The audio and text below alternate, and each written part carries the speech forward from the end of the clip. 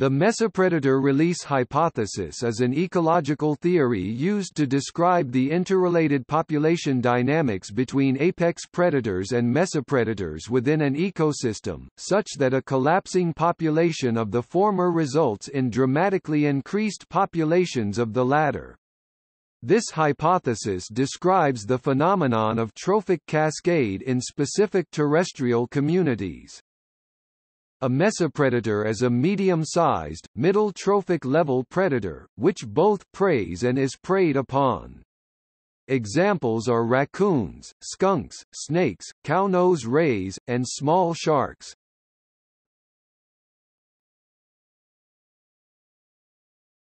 Topic: The hypothesis.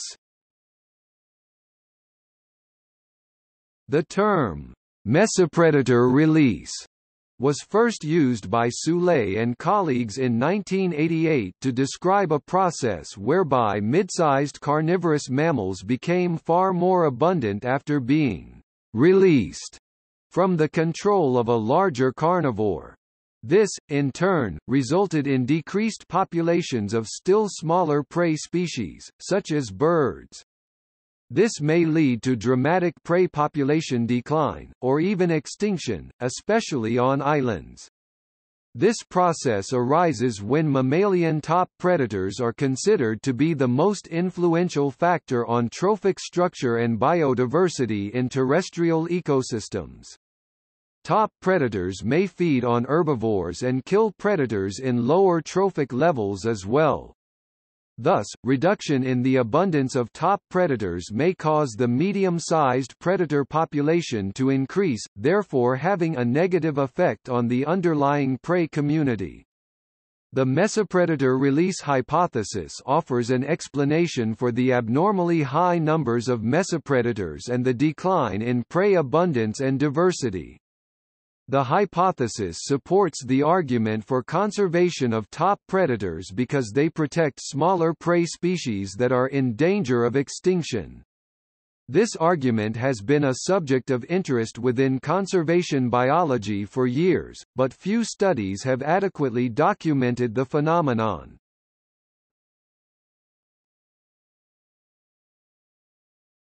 Topic: Criticism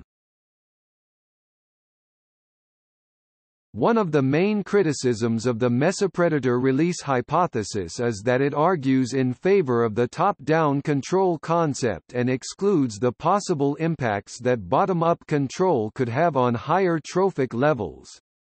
This means that it supports the argument that top predators control the structure and population dynamics of an ecosystem, but it does not take into account that prey species and primary producers also have an effect on the ecosystem's structure.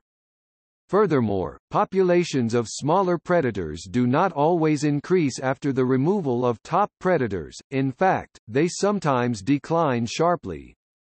Another problem is that the hypothesis is offered as an explanation after large predators have already become rare or extinct in an ecosystem. Consequently, there is no data on the past ecosystem structure and the hypothesis cannot be tested.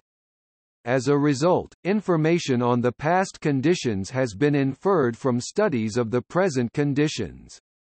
However, contemporary examples of mesopredator release exist, such as the culling of cats on Macquarie Island. The hypothesis is sometimes also applied to humans as apex predators that produce top-down effects on lower trophic levels.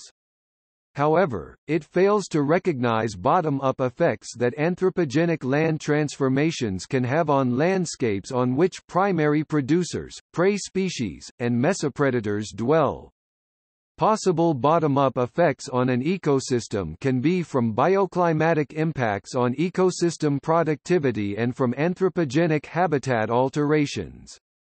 Examples of anthropogenic habitat change include agriculture, grazing land, and urbanization.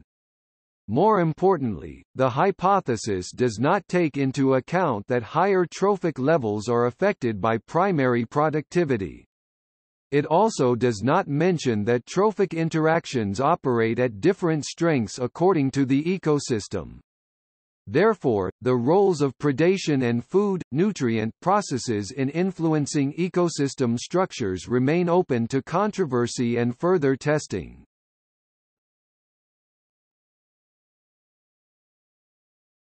Topic. See also Biodiversity. Trophic cascade. Trophic level